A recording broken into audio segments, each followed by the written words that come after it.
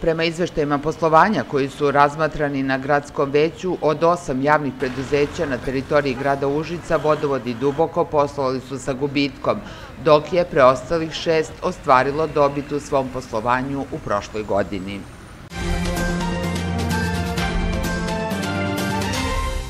Nekoliko nedelja nakon što je završena velika akcija čišćenja Potpećkog jezera, tokom koje je iz vode izvučeno i na deponiju duboko odvezeno oko 12.000 kubika raznog otpada, nova gomila smeća ide ka brani, upozoravaju iz ekološkog udruženja Jastreb, koji su uputili apel nadležnima da što pre postave barijere na jezeru.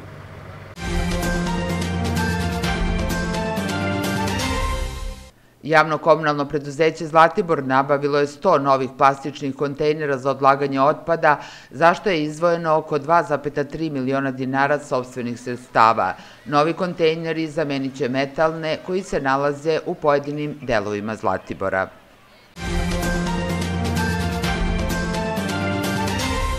U Zlatiborskom okrugu hospitalizovano je 340 COVID pacijenata, na respiratorima je 20, od kojih je 14 u Užicu i 6 u Priboju. U opštoj bolnici Užice leči se 111 COVID pacijenata, COVID bolnici u Krčagovu 109, Priboju 59, u Požagi 50 i Prijepolju 11. Ukupno u svim COVID ambulantama pregledano je juče 611 pacijenata, od kojih je 307 pozitivnih na koronavirus.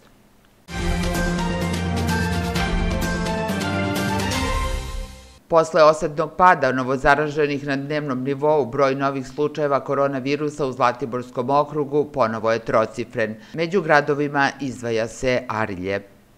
Veliki broj od ovih zaraženih su deca do osmog razda i ljudi između 40 i 50 godina.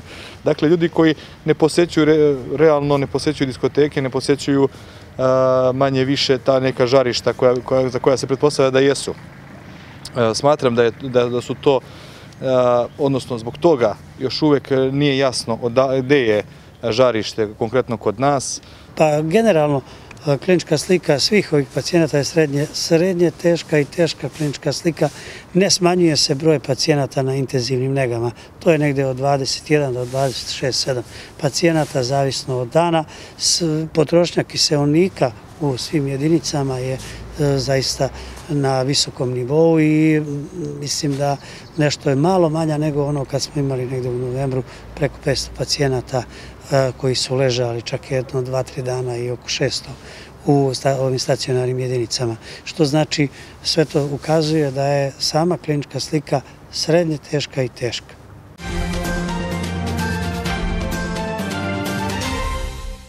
Užičani su se, poput građana mnogih gradova u Srbiji i bivšim jugoslovenskim republikama, na trgu Partizana u subotu veče, uz paljenje sveća i Balaševićeve pesme oprostili od velikog kanta autora i pesnika, koji je od posledica koronavirusa preminuo u 68. godini u Novom Sadu.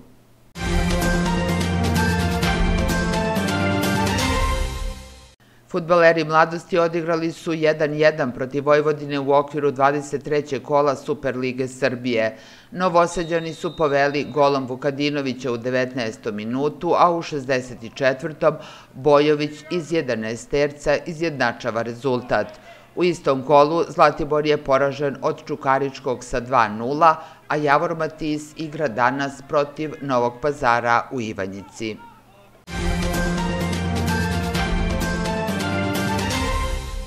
Disciplinska komisija Futbolskog saveza Srbije kaznila je trenera mladosti iz Lučana Nenada Milovanovića, koji je bio nezadovoljan suđenjem na utakmici protiv radnika iz Surdulice i Indije sa 300.000 dinara. Milovanović je najavio podnošenje ostavke uz obrazloženje da ne želi odmazdu za mladost, odnosno da klub trpi zbog ličnih nesuglasica sa Futbolskim savezom Srbije.